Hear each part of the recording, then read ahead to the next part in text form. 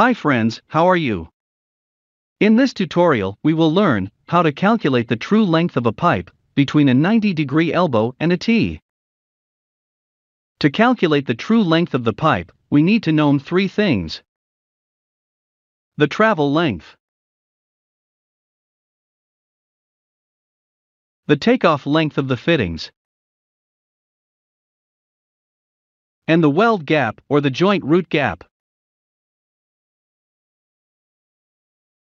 The travel length is given in the drawing. And the standard weld gap is 3 mm.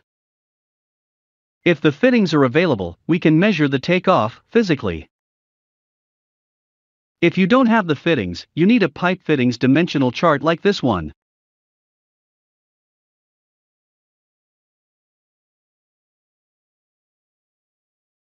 Since the size of our pipe is 6 inches and is long radius, let us check the elbow center or the takeoff length.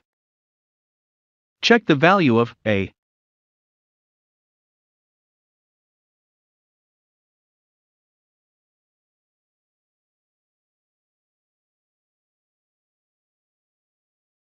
According to the chart, the takeoff length is 228.6 mm, let us round it as 229 mm. Now we have the dimensional values of the travel, the weld gap, and the elbow takeoff length.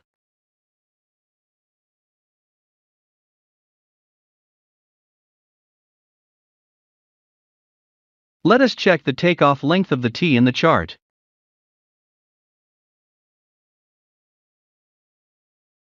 In the equal tee section, check the dimension of 6 inches and in column C.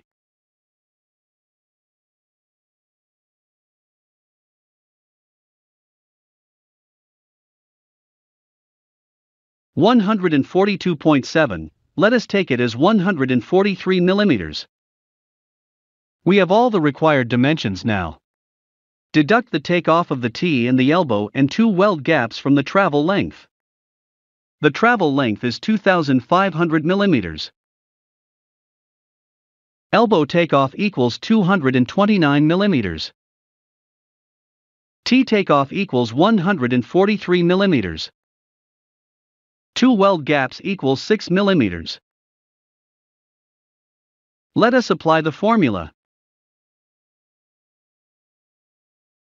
The result is 2122 mm. So the cut length of this pipe is 2122 mm. Thank you for watching.